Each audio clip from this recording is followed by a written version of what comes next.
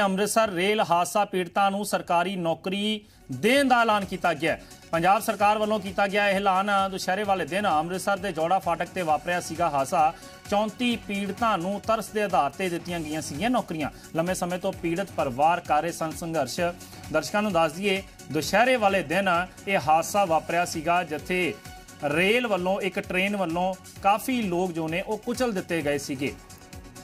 ਤੇ ਉਸੇ ਨੂੰ ਲੈ ਕੇ ਹੁਣ ਕਿਤੇ ਨਾ ਕਿਤੇ ਪੰਜਾਬ ਸਰਕਾਰ ਦੀਆਂ ਅੱਖਾਂ ਖੁੱਲੀਆਂ ਨੇ, ਇਹ ਚੋਣਾਂ ਨੂੰ ਦੇਖਦਿਆਂ।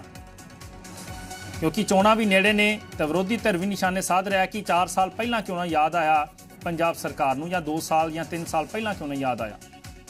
ਕਿਉਂਕਿ ਕਾਫੀ ਲੰਮੇ ਸਮੇਂ ਤੋਂ ਸੰਘਰਸ਼ ਵੀ ਕਰ ਰਹੇ ਨੇ, ਜੋ ਪੀੜਤ ਪਰਿਵਾਰ ਨੇ। 34 ਪੀੜਤ ਪਰਿਵਾਰਾਂ ਨੂੰ ਤਰਸ ਦੇ ਆਧਾਰ ਤੇ ਨੌਕਰੀਆਂ ਦਿੱਤੀਆਂ ਗਈਆਂ ਨੇ।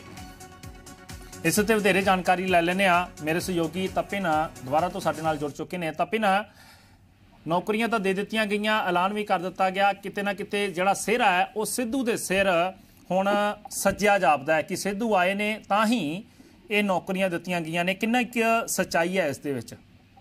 ਜੀ, ਬਿਲਕੁਲ ਜਿਵੇਂ ਕਿ ਤੁਸੀਂ ਸਿੱਧੂ ਦਾ ਨਾਮ ਲਿੱਤਾ ਗਿਆ ਤੇ ਇਹ ਕਿਹਾ ਜਾ ਸਕਦਾ ਕਿ ਕਾਰਨ ਕੁਝ ਵੀ ਰਿਹਾ ਹੋਏ, ਲੇਕਿਨ ਨਵਜੋਤ ਸਿੰਘ ਸਿੱਧੂ ਦਾ ਰਾਹ ਕਾਫੀ ਆਸਾਨ ਹੋ ਗਿਆ।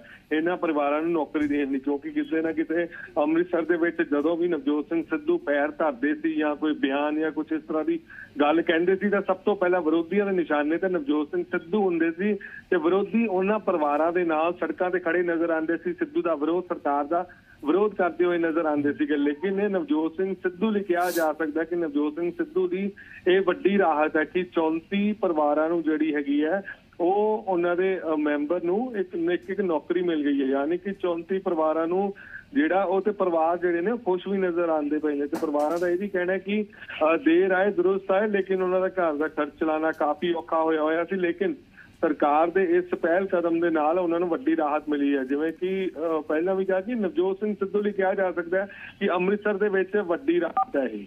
ਜੀ। ਜੀ ਬਹੁਤ ਬਹੁਤ ਤੁਹਾਡਾ ਧੰਨਵਾਦ। ਅ, ਤਪਿਨ ਤੁਸੀਂ ਵਧੇਰੇ ਜਾਣਕਾਰੀ ਦਿੱਤੀ ਹੈ। ਸੋ ਦਰਸ਼ਕਾਂ ਨੂੰ ਦੱਸ ਦਈਏ ਕਿ ਲੰਮੇ ਸਮੇਂ ਤੋਂ ਜੋ ਪੀੜਤ ਸੰਘਰਸ਼ ਕਰ ਰਹੇ ਸੀਗੇ ਆਖਰਕਾਰ ਉਹਨਾਂ ਨੂੰ ਬੂਰ ਪਿਆ ਹੈ। ਆਖਰਕਾਰ ਪੰਜਾਬ ਸਰਕਾਰ ਦੇ ਕੰਨਾਂ ਤੱਕ ਇਹ ਆਵਾਜ਼ ਪਹੁੰਚੀ ਹੈ ਤੇ ਸਰਕਾਰੀ ਨੌਕਰੀਆਂ ਦਾ ਐਲਾਨ ਕਰ ਦਿੱਤਾ ਹੈ। 34 ਪੀੜਤ ਪਰਿਵਾਰਾਂ ਨੂੰ ਜੋ ਰੇਲ ਹਾਦਸਾ ਅੰਮ੍ਰਿਤਸਰ ਦੇ ਵਿੱਚ ਹੋਇਆ ਸੀਗਾ ਜੋੜਾ ਫਾਟਕ ਤੇ।